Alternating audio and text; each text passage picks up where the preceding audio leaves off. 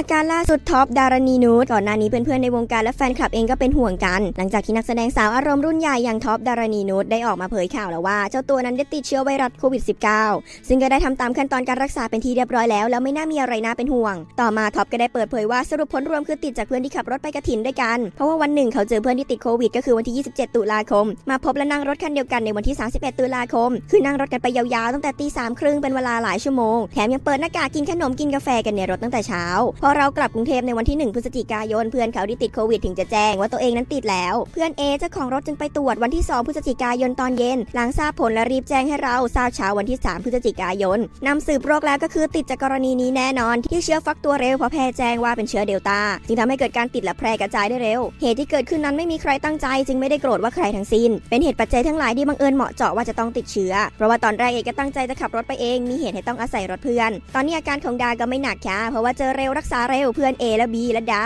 ผลออกมาว่าติดแน่นอน เหลือเพื่อนซีที่ทำ ATK PCR เมื่อวันที่ 3 พฤศจิกายน วันนี้ก็จะทำซ้ำอีกครั้ง รอผลค่ำนี้โชคยังดีที่ดาและเพื่อนๆรับวัคซีนกันแล้ว เชื้อยังไม่แสดงอาการลงปอดใดๆ ดามีแต่อาการไข้ปวดหัวอย่างมากเท่านั้น วันนี้เพิ่งจะมีอาการคัดจมูกเบาๆ หากเหตุการณ์นี้จะสร้างความเดือดร้อนให้กับใครที่มีตัวดานั้นเป็นเหตุ ต้องขอกราบอภัยไว้ณที่นี้ด้วยนะคะล่าสุดวันที่ 5 พฤศจิกายนท็อปก็ได้ออกมาอัปเดตอาการของตัวเองว่าสบายมากๆ จึงได้เดินออกไปอาบแดดบ้างเพราะว่าช่วงเช้าก่อนหน้านั้นทุกท่านก็ห่วงใยถามไถ่ห่วงอาการกัน คุณหมอก็บอกว่าอาการดีขึ้น ส่วนผลเอ็กซเรย์ปอด คุณพยาบาลรายงานมาว่าไม่พบความผิดปกติในเนื้อปอดที่บ่งบอกสภาวะการอักเสบหรือติดเชื้อค่ะหลังจากรายงานยังได้รับอาหารจากโรงพยาบาลถึง 3 มื้อเลยทีเดียว ทางโรงพยาบาลแจ้งว่าจะส่งให้เราจนครบ 14 วัน ขอบคุณโรงพยาบาลพระมงกุฎค่ะ ยังไงทางเราก็ขอให้หายป่วยเร็วๆนะคะ